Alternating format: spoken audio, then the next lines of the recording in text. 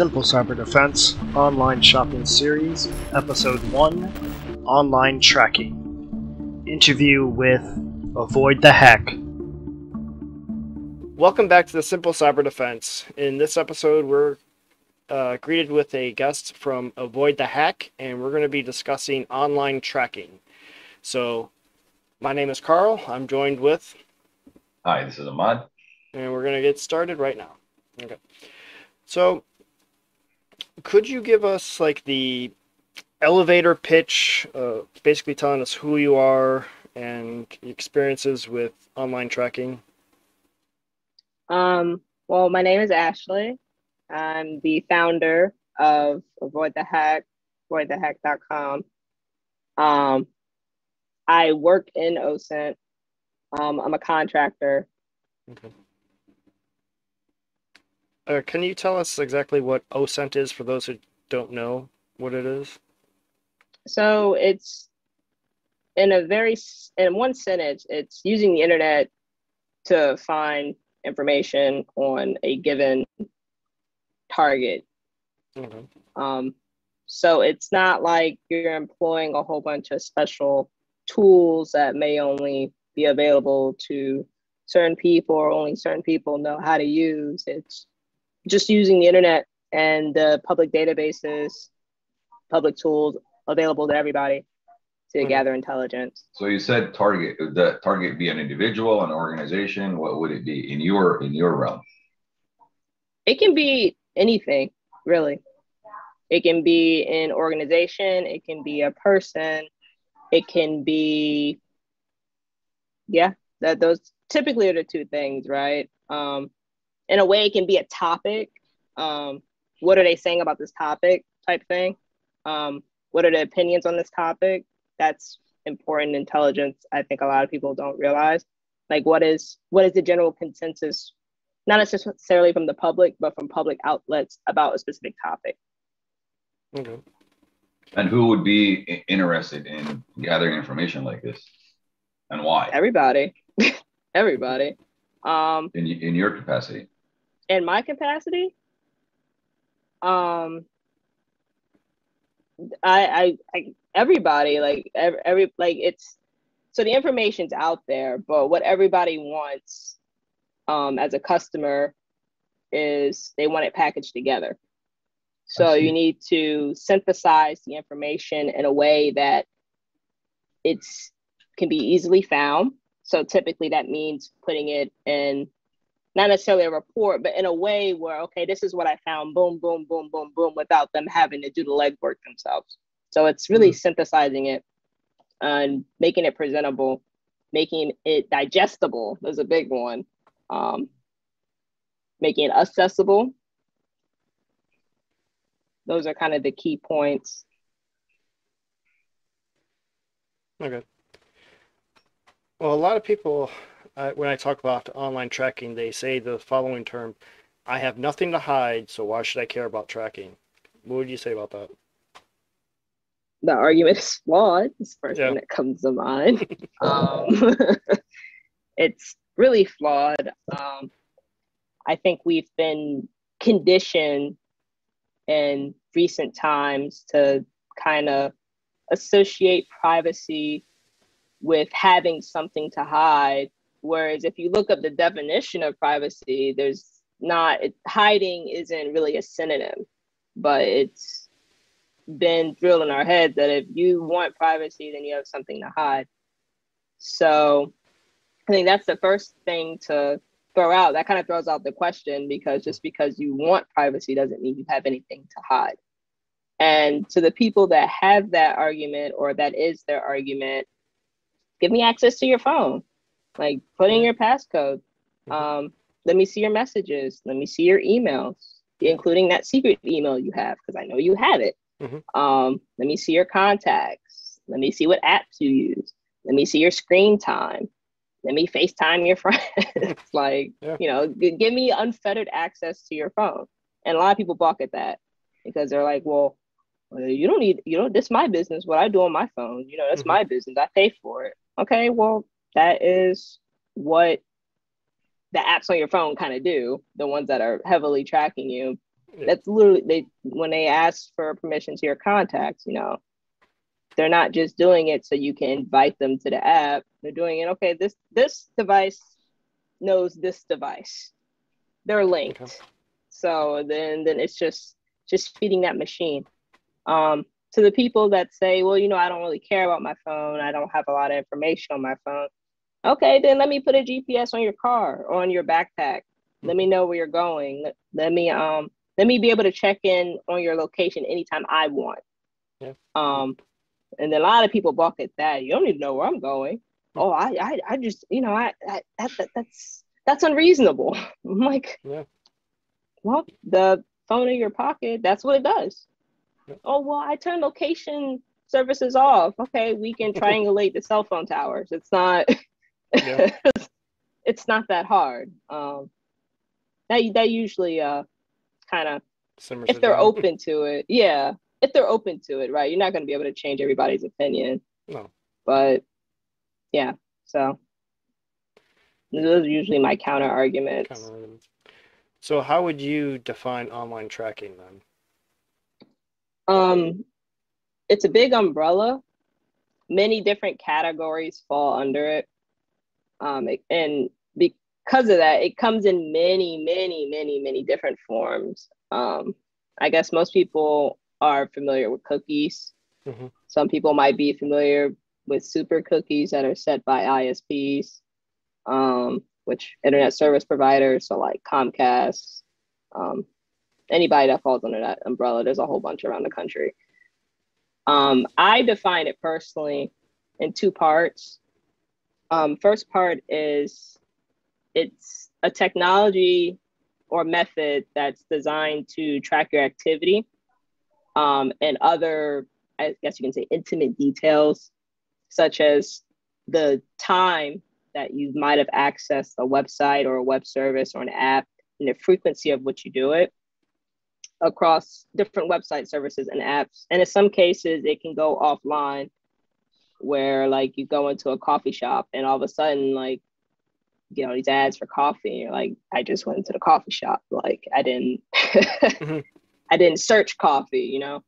Um, and the second part is that many online tracking methods also seek to collect identifying information about your identity and your device. So they pretty much want to tie who you are, what you're doing, and in a way, how you're doing it, and in even some cases, why you're doing it because then they can package all the information together and sell it off to the highest bidder. Okay.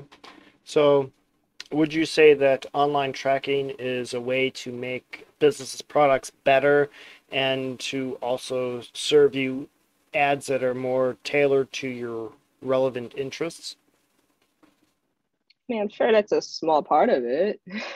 yeah sure it's a very small part of it. Um, but I always kind of try to break it down into two. So you have like surface level tracking. This is typically the tracking you can opt out of, mm-hmm. um, or they let you opt out of. Or let um, you think you opt out. or let you think you can opt out of. And then there's also the deeper level tracking that is usually embedded in the terms and conditions and the privacy policy. And it's pretty much says if you want to use this product or service, you're going to abide by these rules. And the number one example of that that I think is a shiny example, not in a good way, is Windows. Yeah. Specifically Windows 10. Um, because if you look at the Windows, it has one, this one Windows has like five different privacy policies. So that tells you how complicated and convoluted mm-hmm. the system is. Um, it also, so Windows is a good example of that surface and deeper level tracking because you can opt out of the optional like telemetry and tracking, but deeper in the Windows privacy policy, it says you must you you can't you can't disable these pretty much. And if you want them disabled, then you need to go use a different operating system. So yeah. Sorry, I lost my train of thought. Okay. So what's an example of um, something that Microsoft is recording on Windows that you can't control, that you can't opt out of? Um, you have to send diagnostic data for a pro- product improvement, um, which fe- which literally is how they define it. It's pretty much how the operating system works. And as far as I know, it's not anonymized um, because they tie it to the unique identifier of your Windows installation. And that then then we touch on the t- topic of DRM software. Um, so they so they know that this information that's coming to their servers is from you. It's from this installation of Windows. It's from this device because it's. I found out the hard way that they tie it to like your UUID and your motherboard. Because I once had a motherboard fry in one of my machines. I replaced it with a different model. Windows was like, wait a minute, this is a different computer. And I'm like, oh. Yeah.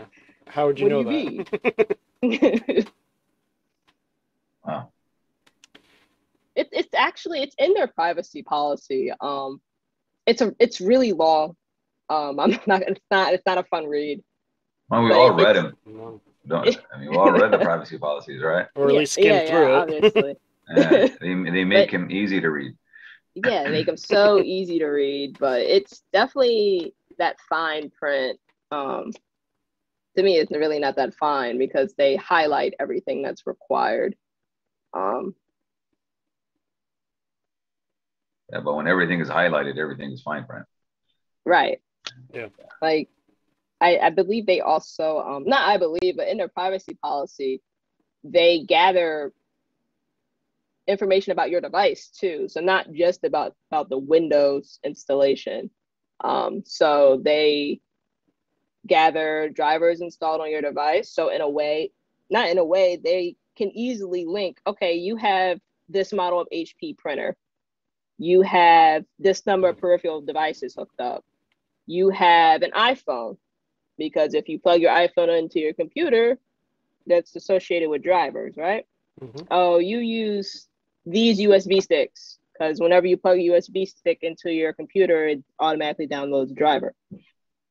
So they know everything about your whole setup. They know about your Wi-Fi data. Okay, th- this this this device regularly communicates with this device. Oh, they communicate on the same network. Oh, the host name is Ashley's iPhone. Oh, Ashley has an iPhone.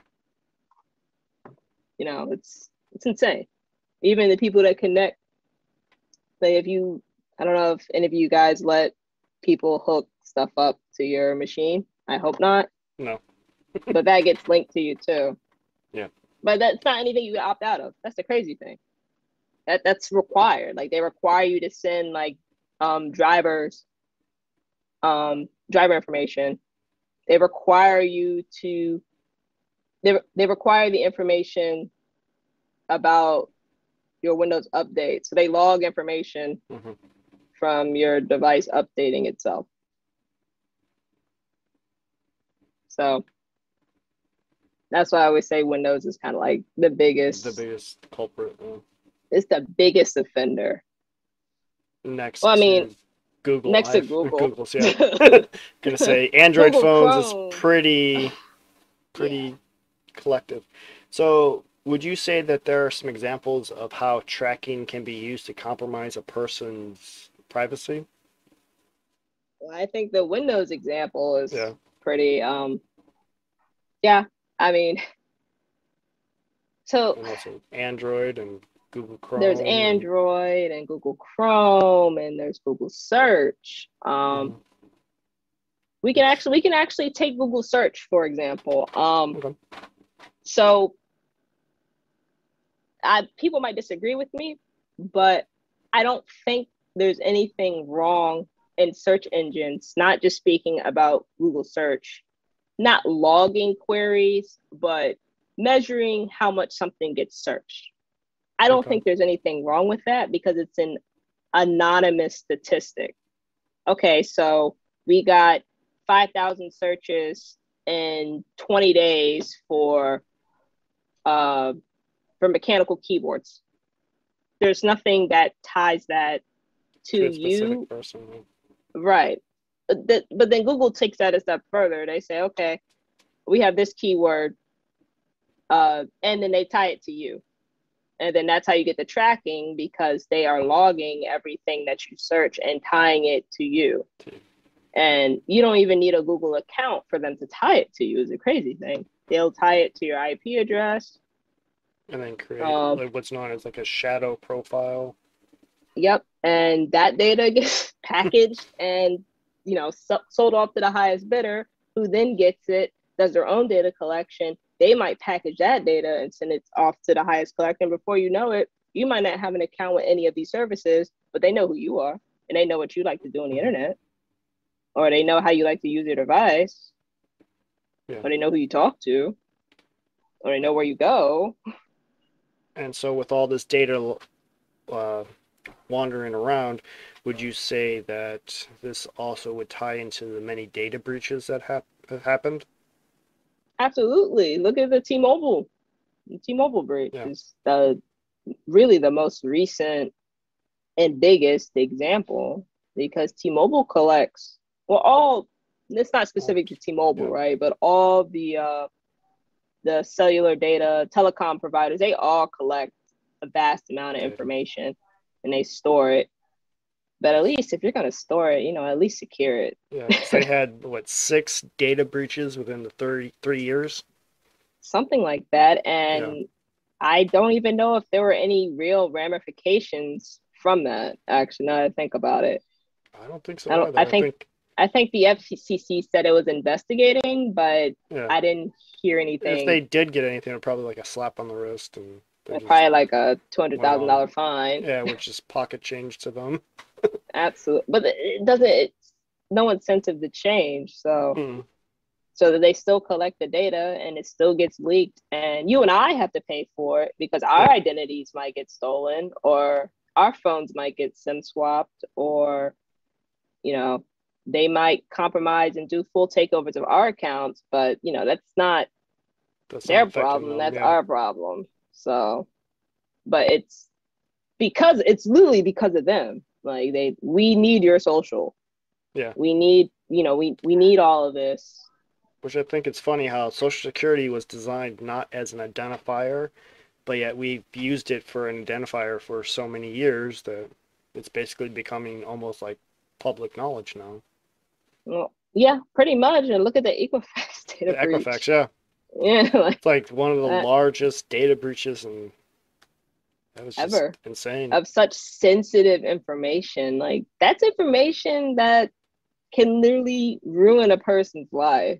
Yeah, because you might not, you know, ever be able to recover from it. Mm-mm.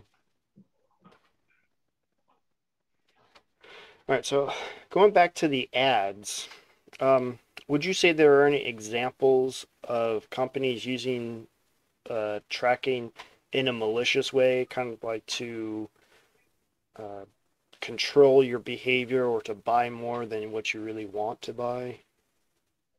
Absolutely. The biggest offender is Amazon. Yeah. The app that's the biggest offender because I don't know how many people I have talked to and they're like, "Yeah, I didn't even mean to. You know, I I don't have any money to spend. I'm not gonna buy anything." And so goes and buys yep. two hundred dollars of just stuff, and you're like, "Where did this come from?" And oh, I saw an ad for it. Yeah. I decided I could swing it, and I'm like, you know, did you did you really decide that, or were you nudged in that direction? Yeah.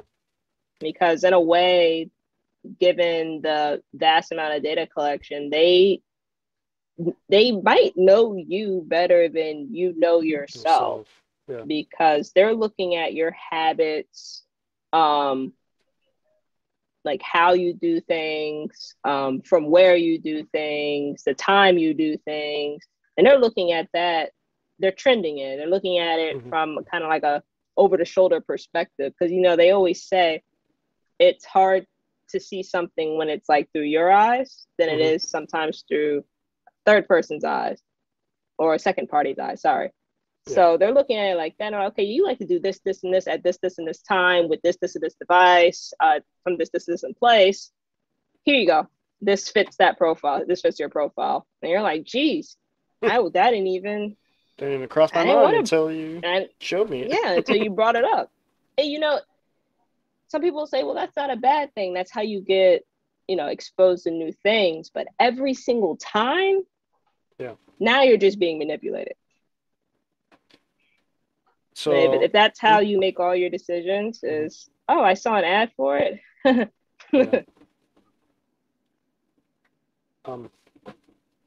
Yeah. So I've heard many examples of people who just say things around their phones and then all of a sudden they see an ad do you think those two are related to each other? Absolutely. Um, absolutely, because take take Android and iOS for example. So mm-hmm. the personal digital assistants um, on iPhone, it's Siri. Um, how do you get Siri to listen in?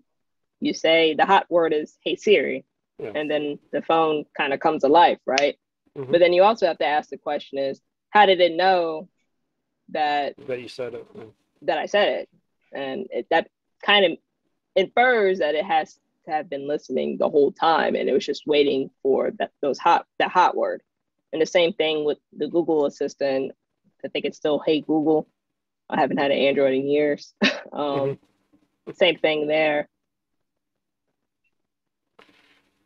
So would you say um, that all these companies would uh, share their data amongst each other? That's why you would see like an ad on Google and then a similar ad on Facebook and then similar ad somewhere else? I would say so. Um, I would say so because personal anecdote. Um, so you know, football season just started. I think this is week two or is it week three? I don't know. Yeah. But so at my office, the guys, they love, they every year they set up a fantasy football league. And just so to set the kind of tone or set the, uh, yeah, to set the tone, I'm not a, I don't follow any kind of sports. I, I don't follow any sports pages. I don't even search for sports. I don't care about scores. I don't really care about the Olympics. Like if it's a sport, I don't care about it. Um, I very rarely talk about it um, because it's it's not it's not on my radar. Mm-hmm. So at my work, we're not allowed to have our phones in the building. We got to put them. In, we generally keep them in our cars in our garage, but our cars are all parked near each other. Um, so they set up a fantasy football league, and then all of a sudden, I started getting ads for, hey, you know, start your next league with us. Hey, football's around the corner. Start a league, and I'm like, okay, well, I didn't. That that's not personalized to me because I never searched that. But I my guess is that my phone was in proximity to, to the theirs. Yeah. And they're like, okay, well, this person, this phone is next to this phone. They might know each other. This person's doing fantasy football. This person might want it. Mm-hmm. But it's wrong. Guilt by association. Pretty much. Um, guilty until proven innocent, but I can't yeah. prove myself innocent because I can't scrub my data from the data brokers. So yeah. So what do you? Uh, so what are some of the common methods that you use from tracking? As you're talking about your fantasy football league fiasco thing. um, there, there's a like like I said earlier. There's a ton of different methods to track um going back a little bit, uh, everyone's probably familiar with tracking cookies yeah. or super cookies. Um, so that's just one method to track, but you also have location based tracking, you have social media tracking, you have search tracking. But I think the biggest one of all is probably fingerprinting mm-hmm. because fingerprinting simultaneously allows them to identify your, di- your device and in some instances you using the device and your habits across different websites, services, and apps. And it's consequently also the hardest one to fight against because almost like the more you fight against it, the more you stand out. So you're mm-hmm. easier to fingerprint. Not might not be easier to track, but you're easier to fingerprint. And then through the fingerprinting, you're and then it's tracked because okay, this fingerprint was seen here, here, and here, so it's this person yep. going here, here, and here. So you can do it that way. Um, yeah, it's kind of like a damned if you do, damned if, you don't, but you're better off doing at least trying to mitigate it than you are just trying to just let Jesus take the wheel. Yeah. So you're talking about a super cookie. So I've I've known that there are methods to delete regular cookies. How is a super cookie different? It's generally set by your ISP, your internet service provider. Mm-hmm. So it's set on their end. You have no control over it. So there's no way so to delete they, it. And... No. The okay. only way to delete it, and I say this in quotation marks, is to change ISPs, but they all do it. So yeah. you would just be jumping out the frying pan and into the fire. fire. Yeah. So you could mitigate that by using a VPN? Certainly. Um, and if you don't want to use a VPN, you can also mitigate it by not using your ISP's DNS servers. Um, and then you switch to a different D- DNS server, ideally one that that utilizes DNS over HTTPS, which is just encrypted protocol, similar thing to HTTPS in the browser. And it doesn't make you immune, right? Mm-hmm. But it makes it harder for them to gather all that information about what you do on the internet.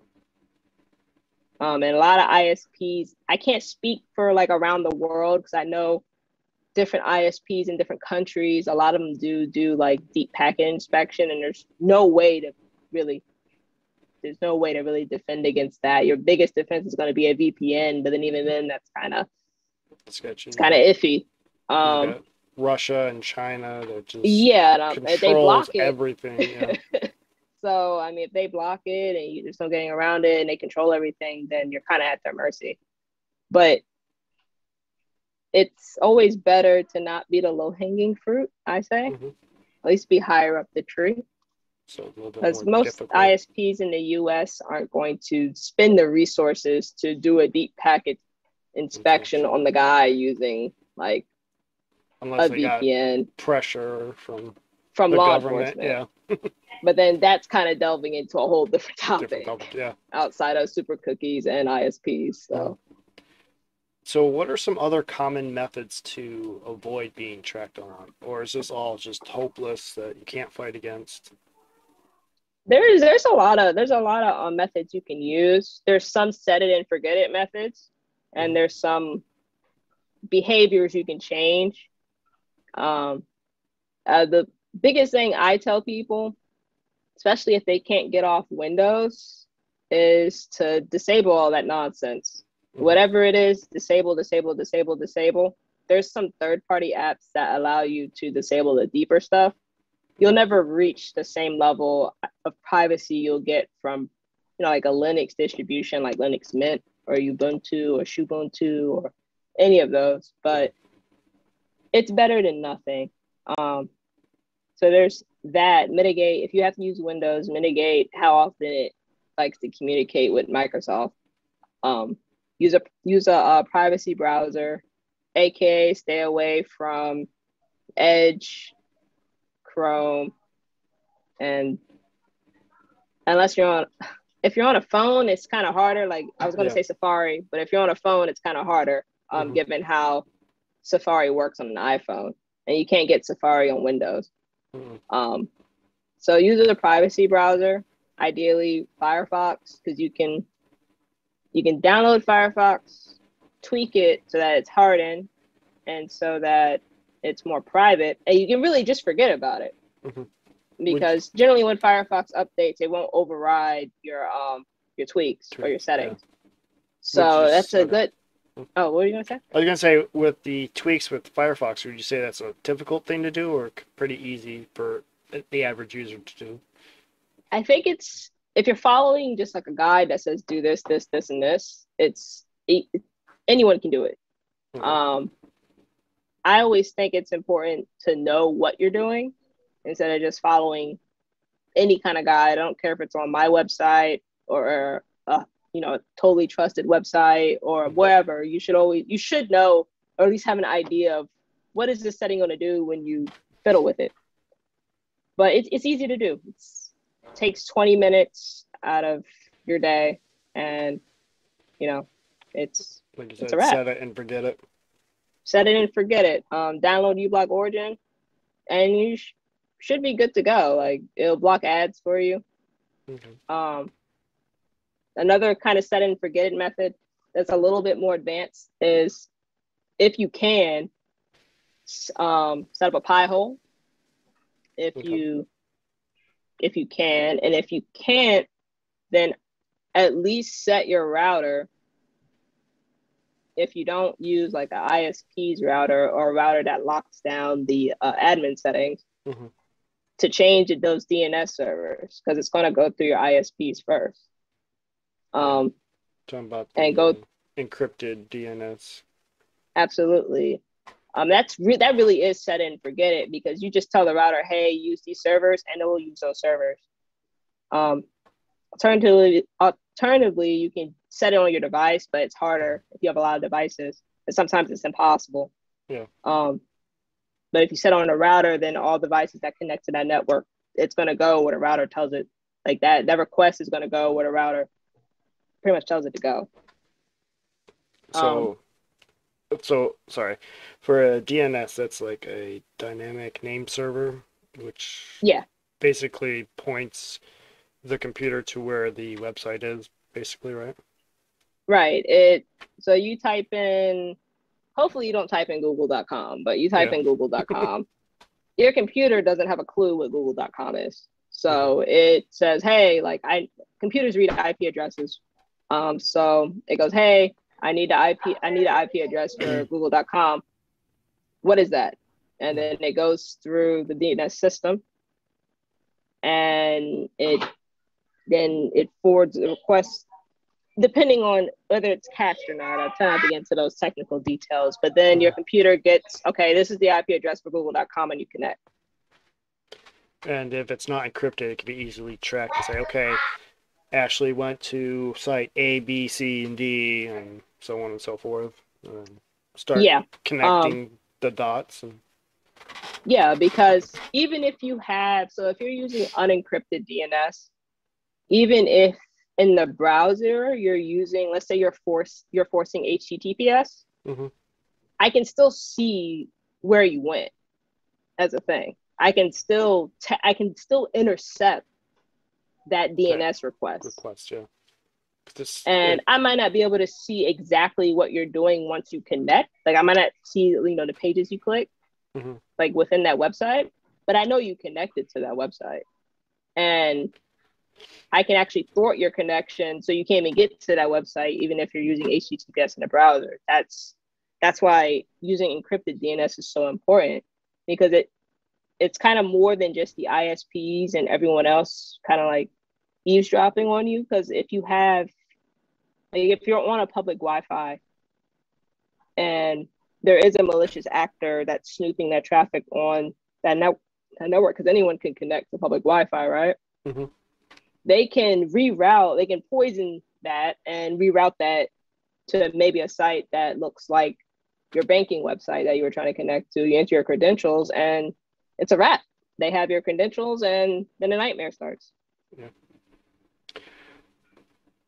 so, would you say that there's a benefit of being tracked? And if so, would there, what kind of trade off would be acceptable for being tracked and your privacy? So, like, are there any benefits? Yeah. I don't know if there's any benefits to being spied on, but um, I guess the biggest one would be it would be personalized ads. But and I say again, this because yeah. because it's a double-edged sword. Mm-hmm. I say this I say personalized ads, and people may disagree with me, but at the end of the day, people like receiving personalized ads. But you can receive personalized ads without being subject to the data collection mm-hmm. that we're subjected to for using various websites and web services. Um, another thing is is also providing, I guess, telemetry for the developer so they can improve their product. But they don't need to track you. That's the thing. Yeah. That, that that's they can the do thing. anonymized they don't, ways to absolutely. They do not need to track you. They do not need additional information. They don't really need to know that it came from how unique. yeah. yeah, they don't need to know that. Like if if it crashed, it crashed, right? Yeah, okay. They well, didn't know what event happened to make it crash. And if you're a good developer, you can figure it out. Yeah. Um, especially if it's a service that you're paying for. That's always kind of blown my mind that you could pay for a service and they and then, still track the heck out of you. And then turn around and sell your data to make money. And then turn around and sell your data and then next year raise their prices. Yeah. See, the, like, the thing is, so now, uh, excuse me, um, there's three schools of thought here. You know, we're, we're always looking at this as personalization or tracking versus privacy. Well, right. the third school of school of thought is okay. This is personalization. This is my choice as a consumer to to use this technology to my benefit. Right. This is just part of the growth of technology. This is how technology evolves. Uh, and to me, I, I feel like the next step of the growth of this technology is, or the evolution of this technology is personalization without tracking. But it's kind of like how how can I do that if I don't know who the person that I'm personalizing for? How can I do this without tracking? Is there a possibility to personalize without tracking? And I'm looking at it from the consumer's perspective not looking at it from a from a business perspective, we, which you know we've been talking about. We keep you know businesses keep on pushing ads, but what about something as simple as you know Google tracking my YouTube history or my YouTube searches, and now they're recommending videos on a subject that I'm really trying to learn about, and if, and you don't know what you don't know, right? And mm-hmm. that type of information that Google would push on me to kind of help guide me in the right to get better at the subject that I'm studying, for example, wouldn't that be considered as the good evolution of technology? And how can we harness that to our advantage without the negative side effects? Um, I'm just trying to gather my thoughts here. So, give like, I'm gonna just use your example, right? Um, you can suggest so just go so again, going back to search engines and searching, you can suggest related topics based on a given keyword, right? But you don't need to know that you don't need to go too far with that because you can easily okay this person wants to look up how to tie a tie or how to tie a specific tie. Okay you can suggest how to tie a bow tie. You can suggest how to tie your shoes you can suggest how to tie, you know, like, you know, those fancy knot ropes that they use in the military sometimes. You can do all that's personalization. You can do all of that without knowing my location. You can do all that without knowing that, you know, I'm that well, that's my chain of thought. You can do all yeah. of that without knowing all the intimate details of my device you or can you. or me yeah. you can do that. Yeah you can that can be done. It's just that they go too far. So it's like again you got that surface level tracking you got that deeper tracking. And so and that, that can be done. Like that that can easily be done because you can do it based on the keyword but the issue comes is when you're okay you're like okay well you looked up how to tie a tie from Los Angeles, California. Then you looked it up again in Phoenix, Arizona. Um, and then you looked it up again when in Portland, Oregon. Like, how is that? How is that even contributing to recommendations on how to tie more ties? or how to tie a different amount of ties. It doesn't, but they're still, but they're still taking in the information. That's the issue. Because they'll take they'll take as much as they can, as much as you can provide. Right. But you're not providingly, you're not providing it willingly, willingly, or in many cases knowingly. Like your average person doesn't realize that they just don't realize that they don't realize the depth of it and it's mm-hmm. not their fault we all have lives to live right like yeah. not everyone's a techie not everyone works in cybersecurity not everyone is a nerd so to say that and yeah yeah say that in quotation marks but you know not everyone wants to dedicate that kind of time or even have the time to dedicate it or even have the time and it's really not their fault so it's just like it's kind of you're moving i guess we're moving more into the ethics part of it Mm-hmm. Um, because the company should realize, you know, we don't really need this data. Like we just need X, Y, and Z to be able to deliver a good product. Plus, we don't need A, B, C, D, E, F, G, H. We don't need all of that, but they collect that because oh, it's there. I'm going to collect it and I'm gonna do what I want with it. Yeah. And even if you realize, oh, you know, I was looking up how to tie a tie, and Google was tracking my location and they were tracking all these different things about me and my device, um, I want to request for that to be deleted. Oh, well, you can't delete it because you live in the USA. Yeah. It's our property now. Um, but then I generate that for you. So it's kind of, it, it's rough, man. yeah. It's rough. And I'm not, I'm not trying to sit here and say, you know, my way or my opinion is right, but it's just it's just not necessary. Yeah. So you were talking about the government. So do you think there'll be ever a time where the government will step in and make regulations to limit the online tracking, or do you think it's just going to be like the wild wild west and companies are going to continue doing what they're doing? I'm going to my honest opinion.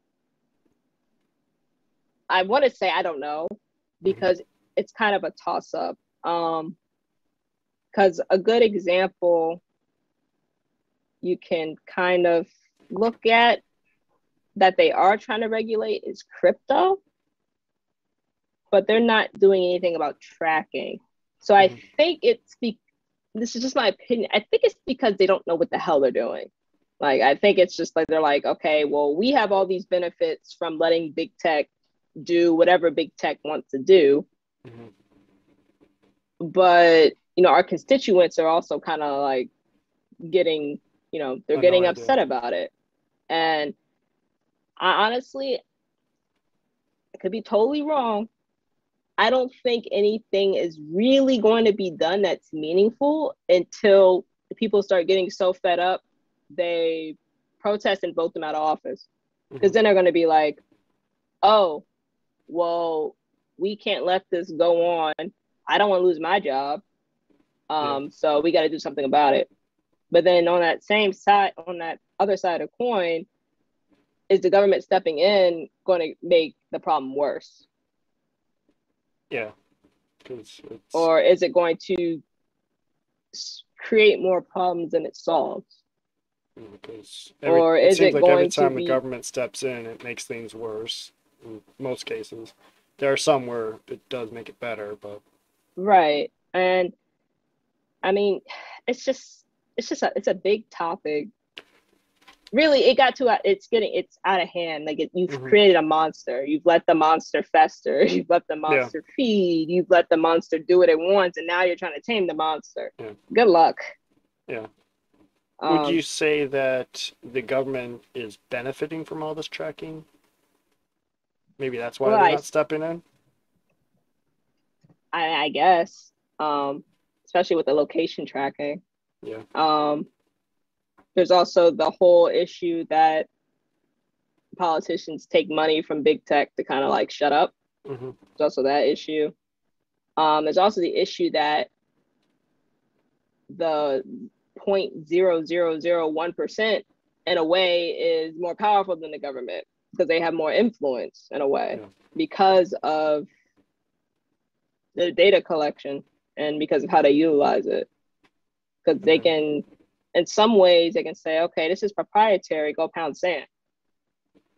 And so then that's when you get the government trying to introduce like bills to kill encryption and stuff like that. Because in a way, the private companies are like, well, I don't have to, I don't, you don't, I don't have to do anything. It has nothing to do with me. So, all in all, I just think it's a power struggle. But it's hard to say if they're going to be like, you know, Google, you must separate into four different companies, or Google, you can't do X, or Microsoft, you can't do X, or Amazon, you have to, you know, you're a monopoly, you know, whatever. Um, it's hard to say if they're going to do that. Do you have any other action, uh, questions, Ahmad? Yeah. Uh, so one of the things that we keep talking about is, you know, PII and all those data breaches and and uh, all the regulations that the government have put in place, like the HIPAA regulations, or here in California, the CCPA regulations to protect our PII as an end user, as a consumer. But being in the industry, do do you foresee similar types of regulations being put in place to protect kind of like our our online al- our the algorithm that describes our online presence. Now it's not pii per se. It's not name and address and phone number and things that the government really protects but it's kind of like your online data. So for example the comp- companies you know big data collects that information and sells it right? And i have no control over that. Um, and also some of that information is available online and people like yourself who are in your type of business are, able to find that information gather it clean it up and present it. Do you foresee this you know the regulations evolving to protect this type of information in the same way that it tries to protect uh, uh, pii so like just so i understand your question so you're asking do do i think the regulations are going to protect things that aren't traditionally considered PII, but that yes. in the world we're kind of heading towards, in a way, are PII. Yes. That's a good question, actually. Um, I don't again, I don't want to say I don't know, but I think it's going to take it's going to take some bad events, I can say, before they realize, oh yeah, this is this is something that needs to be protected. Um, because that's usually how that kind of thing works. Like our PI, our PII is protected because as it like name, phone number, and stuff like that's protected now because of really bad happenings that occurred in the past. Um, or I think yeah, that's that's really it. I think it's I think it's going to take something like maybe the data, like this new PII that's not recognized as PII by the government. It could be the event is okay, some upstart startup company sells this to um, an adversary and they use that to maybe assassinate somebody important or maybe to hurt American infrastructure in a way where it's not just a little blip on a radar or something something to that effect. Um, because if you look at it, that's how we got the Patriot Act. I'm not saying the Patriot Act is a good thing, depending on who you ask, but it took 9-11 for them to be like, oh shit. like, you know, we need to take OSINT most serious more seriously type type thing.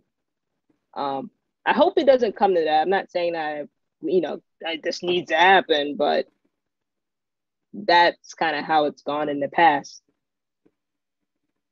I see. So you, you're saying, in order for regulation to take place or to move forward, we need to have a major event that will force us in that direction. Um, and that major event needs to have a large enough impact on us as a whole, but not just on a million people at a time or 5 million people at a time because those data breaches so far don't mean anything to push any regulation. Right. It I mean cuz if you look at it not justifying it, but look at it from their perspective. Okay, a couple million people are dealing with identity theft, so what?